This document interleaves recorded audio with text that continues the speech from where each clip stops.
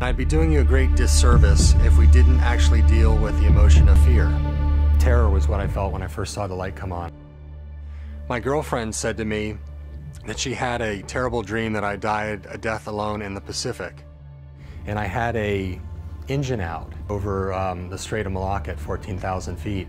When I talked to my father, he said, you know, you've had some success in your life. You don't need to do this. You're just going to get yourself killed.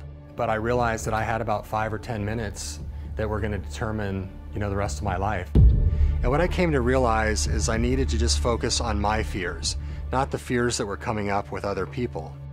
My first reaction was panic, and it was sort of a primitive fear that I was feeling. I could feel the sweat start to drip down my back. I had to make a decision.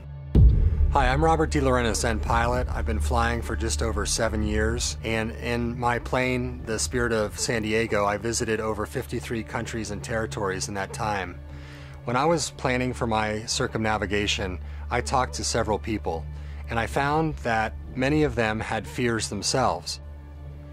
One of my instructors told me you can't be afraid if you're prepared.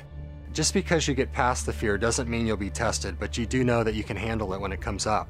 What I'm going to do is teach you about what we learned from aviation, we'll apply that in our lives, and then as a result become better pilots.